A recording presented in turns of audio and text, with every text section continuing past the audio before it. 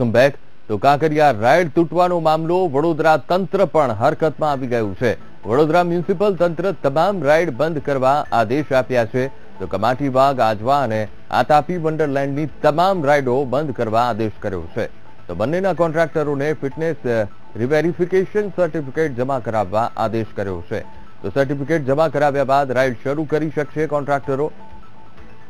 જ્યારે કાંકરિયામાં ઘટના દુર્ઘટના સર્જાઈ છે, ત્યારે હવે રાજ્યભરમાં મ્યુનિસિપલ તંત્ર હવે જાગ્યું છે. વડોદરાની વાત કરવામાં આવે તો વડોદરાનું મ્યુનિસિપલ તંત્ર પણ જાગ્યું છે. વડોદરામાં પણ તમામ રાઇડો બંધ કરી દેવામાં આવી છે. કોર્પોરેશને આ નિર્ણય કર્યો છે. કાંકરિયામાં રાઇડ તૂટવાને મામલે તંત્ર જાગ્યું છે વડોદરાનું. અમદાવાદના કાંકરિયામાં જે રાઇડ તૂટી હતી અને તેમાં જે ત્રણ લોકોના મોત થયા હતા, ત્યારે આ ઘટનાને પગલે વડોદરા મ્યુનિસિપલ કોર્પોરેશને નિર્ણય કર્યો છે. તમામ રાઇડ બંધ કરવાનો આદેશ કર્યો છે.